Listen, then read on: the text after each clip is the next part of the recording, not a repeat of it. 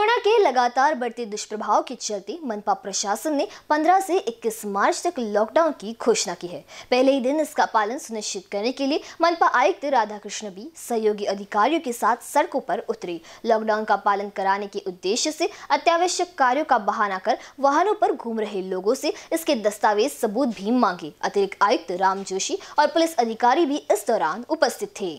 उल्लेखनीय है कि कोरोना संक्रमण टालने के लिए कड़ी शर्तों के साथ ही बेवजह घरों से बाहर निकलने तथा अत्यावश्यक होने पर ही बाहर निकलने के निर्देश मनपा आयुक्त ने जारी किए हैं। इसके बावजूद सड़कों पर भारी मात्रा में दो पहिया और चार पहिया वाहन दिखाई दिए। कई चौराहों पर मनपा आयुक्त ने वाहनों को रोककर चालकों से पूछताछ की। जाँच पड़ताल के दौरान कई वाहन चालकों ने अत्यावश्यक होने के दस्तावेजी सबूत तो पेश किए, किंतु कई ने संतोषजनक जवाब नहीं दिया। भाने बल्लेबाजी करते दिखाई देने पर मनपा आयुक्त ने इन लोगों के खिलाफ कार्रवाई के निर्देश भी पुलिस को जारी किए। मनपा आयुक्त ने सरकार की दिशा निर्देशों का पालन करने की अपील जनता से की।